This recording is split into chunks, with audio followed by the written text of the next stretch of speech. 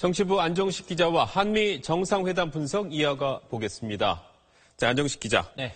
북한 문제에 대해서는 우리 의도대로 합의가 잘 됐다 이런 평가가 많던데 앞으로는 어떻게 될 것 같습니까?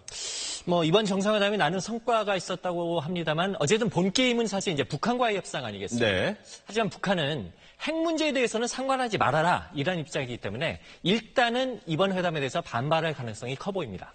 자, 그래도 우리가 어떤 형식으로든 남북 대화에 조금 더 적극적으로 나설 거다 이렇게 보는 시각이 많은 것 같은데 어떻습니까? 네, 그렇습니다. 일- 어, 이번 이제 한미 공동 성명을 다시 한번 좀 보면은요. 이 네. 올바른 여건 하에서 북한과 대화한다. 그리고 인도주의적 사안 등에 대해서 남북 대화 재개를 지지한다 이런 표현이 있습니다. 이걸 쉽게 얘기를 하면 예. 인도적 차원의 대화부터 시작을 해서 비핵화 대화로 나아가겠다 이렇게 볼 수가 있는데요.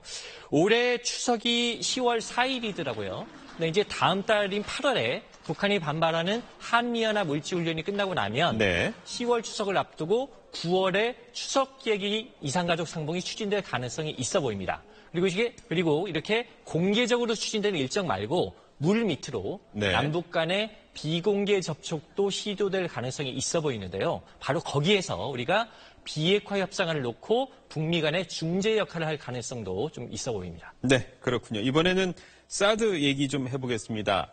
사드는 사실 합의하는 쪽으로 어느 정도 일단락 되는 양상인데 예. 중국이 가만히 있을지 모르겠습니다. 예, 사실 새 정부 들어서 중국이 혹시 철회되지 않느냐 기대를 네. 했을 것 같은데 일단 며칠 뒤에 이 독일에서 G20 회의가 열리는데 여기서 한중 정상회담이 열릴 가능성이 있습니다. 여기에서 시진핑 주석이 어떤 반응을 내놓느냐 이걸 좀 지켜봐야 될 것 같고요. 또 한 가지는 어, 이- 일단 이제 이번 이 한미 정상회담에서 우리가 또 한 가지 주목해볼 부분이 한미일의 삼국 협력이 굉장히 강조되고 네. 있다는 겁니다.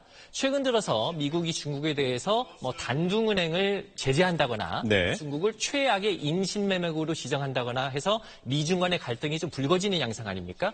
이런 상황에서 한미일 삼국 협력이 강- 강조되는 것이 예. 사드에 대한 중국의 반발을 다시 좀 크게 할 가능성도 있어 보입니다. 네, 안 기자 잘 들었습니다.